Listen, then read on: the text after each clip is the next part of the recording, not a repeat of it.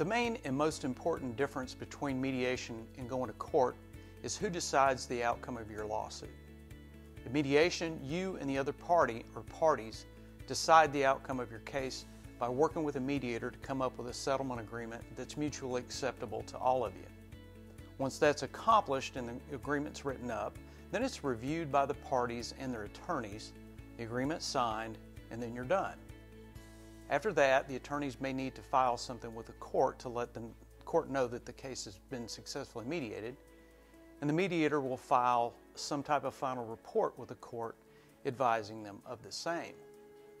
Now, the mediator's final report can only tell the judge one, who appeared and participated at the mediation, two, if a full, partial, or no agreement was reached at mediation, and three, if any part of the mediator's fees need to be taxed as court costs.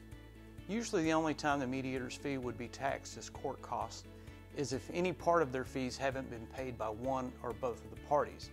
Nevertheless, if an agreement's reached at mediation by the parties, the lawsuit is over with.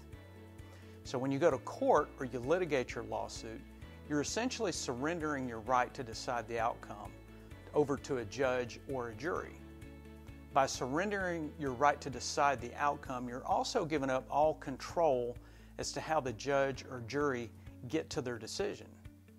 In court, judges and juries can only consider certain information, and that's information that can be proven and or quantified.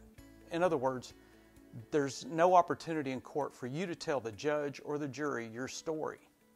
The closest you'll ever come to telling your story in court is if you're on the witness stand.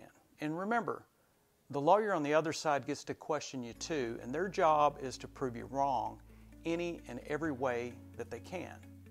Still, after it's all said and done and the trial's over, you're stuck with whatever the judge or the jury decides, whether you like it or not. If that's not enough, judgments or judges' rulings or even verdicts can be appealed, taking a lot more time and even more money out of your pocket. So the main difference between mediation and going to court is control. Who's in control of your lawsuit? You or the judge or a jury? In mediation, you're in control.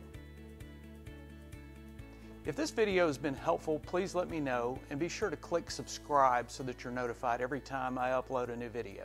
Thanks.